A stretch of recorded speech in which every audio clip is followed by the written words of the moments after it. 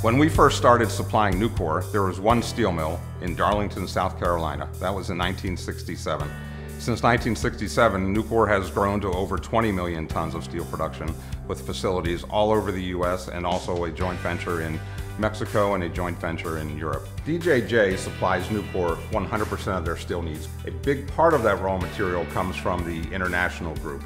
We supply them pig iron, we supply them HBI, we supply them scrap, so it's a very big part of the everyday scrap usage for our steel mills. Steel is the number one most recycled item there is. The average size of a transaction on international scrap or international pig iron is anywhere between 12 million and 20 million dollars, and that is repeated month in and month out.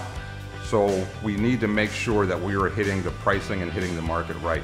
Just being wrong a little bit can cost hundreds of thousands of dollars and that can add up very quickly. It also forces you to stay in tune with what's going on in the international news and international markets and it's, it's constantly changing. We've imported material from as many as 20 different countries and exported material from the U.S. to as many as six different countries. The scrap we're buying is processed at the various processing yards throughout the U.S., already in a form that can be used at the steel mills, delivering it to the steel mill then, where it can be melted into new steel. When we bring vessels into the U.S., typically we'll bring it into either New Orleans or we'll bring it into Charleston.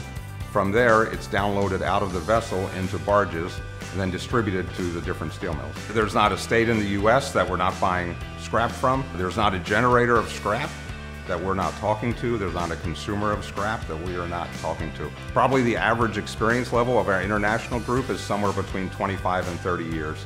And out of that group, that's all with the David Joseph Company. You gotta love it. It gets in your blood.